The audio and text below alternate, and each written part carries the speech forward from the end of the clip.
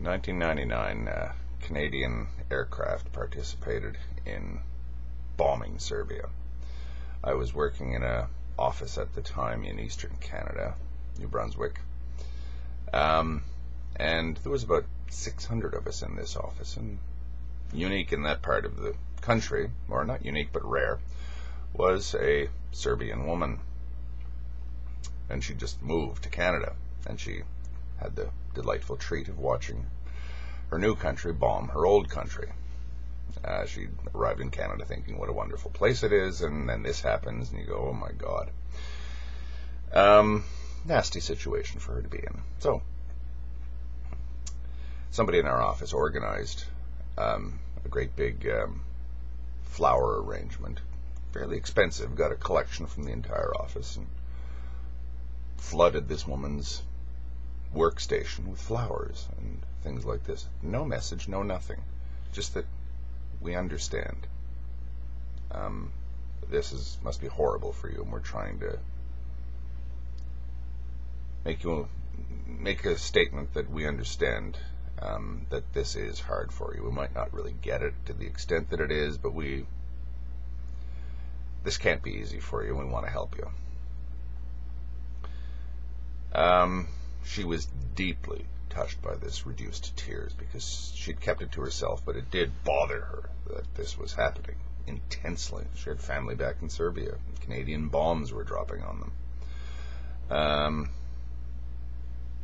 wasn't that a nice thing for this person to do? Who organized all of this, right? Wasn't that a nice thing for that person to do? Um, nice little anecdote, right? All right. This is a true story. This actually happened. It's nothing spectacular. I'm the person that organized all of this. I did all of this. Aren't I a great guy? Think about that.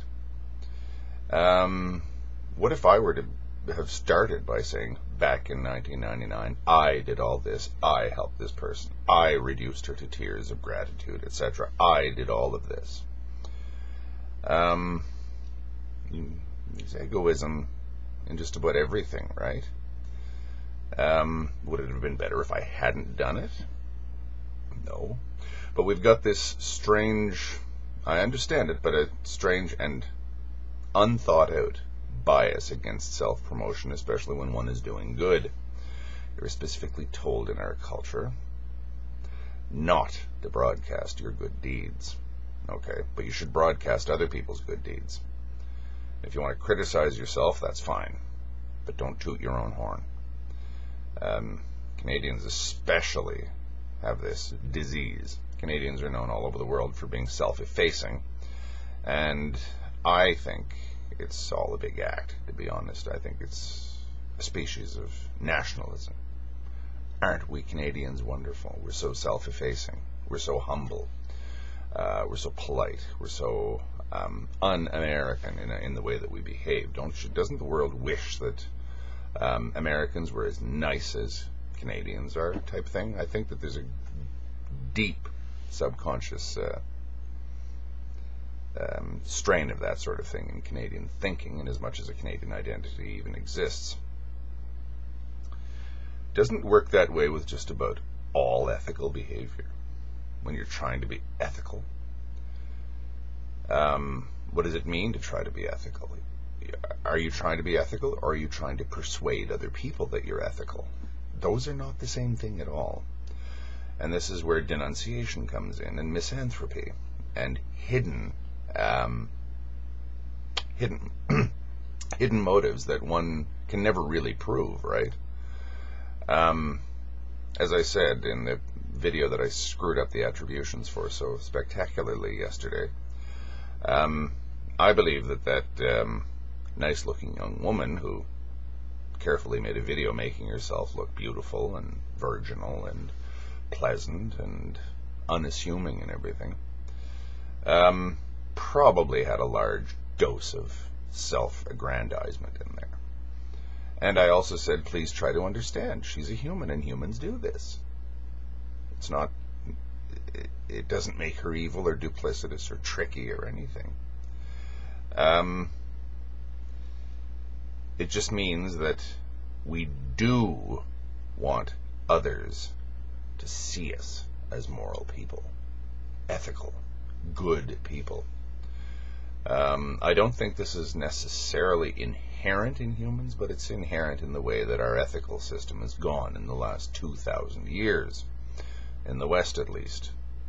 Um, the Far East and in India, it's not doesn't quite work like that. The interesting example is the one that the Western world now is really active in denouncing the living hell out of, and that's the self aggrandizement or ethical self aggrandizement that we constantly accuse the Islamic world of.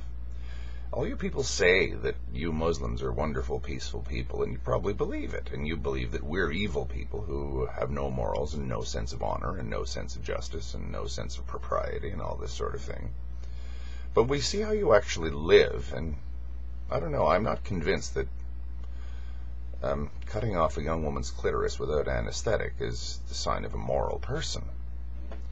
I understand that you might be doing it for some vague concern for her to get a husband later in life, but again, that kind of honor ethics is pretty insane because, um, you know, killing your own relatives to prove how honorable you are.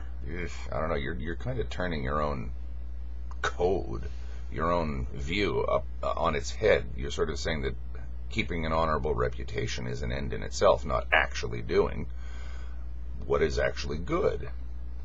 Um, that's the big criticism that we have of honor ethics. Now, the Islamic world is only doing what everybody else does, but they're doing it in such a naive, slightly cru- crude way um, that everyone can see right through it immediately uh, and say that's that's horseshit. You're not you're not really uh, being honorable here. You're not really being ethical. You just want everybody else to think that you are.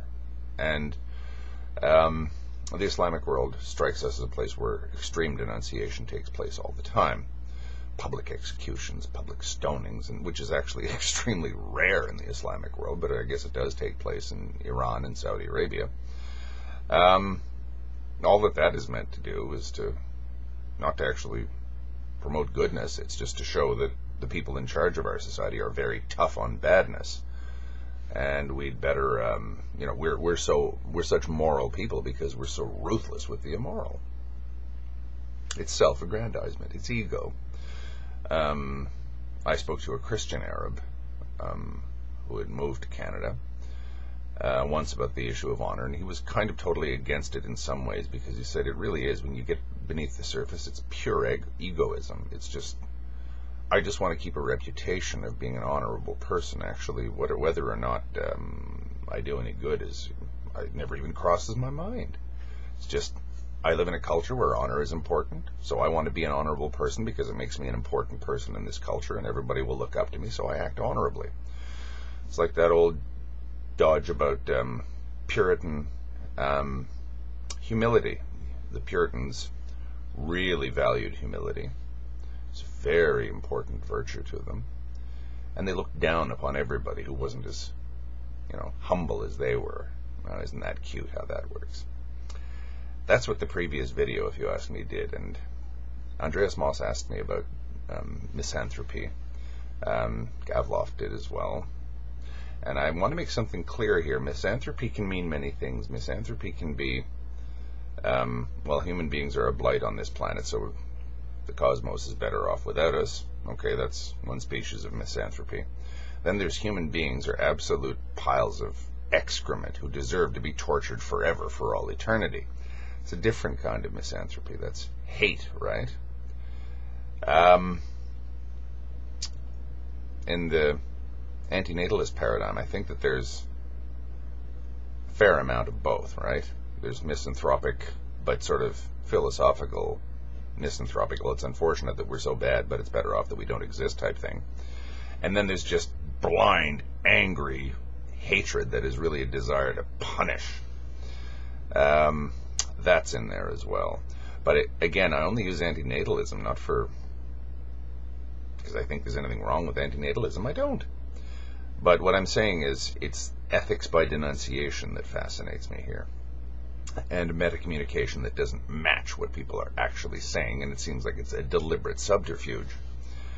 Um, people who are full of hate, anger, and a desire to harm others or to punish others, all in the name of empathy, strike me as that Puritan who's so proud of how humble he is. Um, there's a flip side to everything that has to do with humans. And there's more than one flip side. This goes all the way back to perspectivism, doesn't it? In what ways is something moral and in what ways is it not? Okay, you might think that smothering a young woman's desk with flowers while she's going through something fairly traumatic is a nice thing to do. Yes, it is in some ways. In some ways it isn't. In some ways it's simple self-aggrandizement. Who gets to decide? Well, the only person who really can tell is the person who's actually engaged in that kind of activity. Um, even then, though, can they tell? Can you? Uh, do you have such a good lock on your own motives that you can say that you're doing everything that you do for the right reasons? lucky you if you do, I suppose.